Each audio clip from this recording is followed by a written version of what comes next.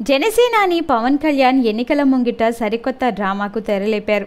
గత సార్వత్రిక ఎన్నికలకు ముందే ఇది ఈ రీతిలో తనకు లోకేష్ చంద్రబాబుల నుంచి ప్రాణహాని ఉందని పవన్ కళ్యాణ్ సంచలన ఆరోపణలు చేశారు. నాడు అధికారంలో ఉన్న చంద్రబాబు నాయుడు భయాందోళనకు గురై నిరాధార ఆరోపణలు చేయడం సరైంది కాదని హత్యకు ప్లాన్ చేయాల్సిన అవసరం టీడీపీకి లేదని చెప్పిన సంగతి తెలిసిందే. అప్పట్లో పవన్ పర్యటనలో రాత్రి వేళ కరెంటు తీసి తన హత్యకు లోకేష్ నేతృత్వంలో కుట్ర చేశారని త్వరలో బండారం బయట పెడతానని పవన్ కళ్యాణ్ ఏవేవో హెచ్చరికలు చేశారు.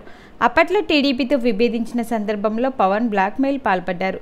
తాజాగా వైసీపీపై మరోసారి అలాంటి ఆరోపణలే పునరావృతం చేయడం చర్చనీయాంశమైంది. ఉమ్మడి తూర్పుగోదావరి జిల్లా జనసేన నాయకులతో నిర్వహించిన సమావేశంలో పవన్ మాట్లాడుతూ తనకు ప్రాణహాని ఉందని ఆందోళన వ్యక్తం చేశారు. ప్రత్యేకంగా స్వారీ గ్యాంగ్లు దింపారని సమాచారం ఉందని ఆయన అన్నారు.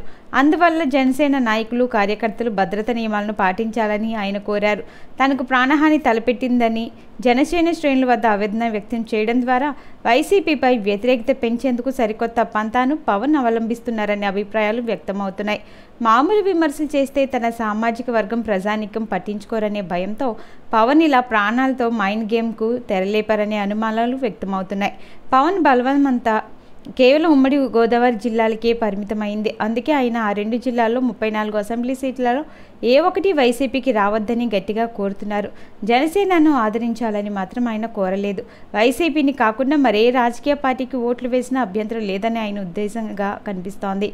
ఈ క్రమంలో తనలా ప్రజానికం కూడా వైసీపీని తీవ్రంగా వ్యతిరేకించాలంటే తనను హత్య చేస్తారనే భయాన్ని క్రియేట్ చేయడం ఒక్కటే మార్గంగా ఆయన భావించారు.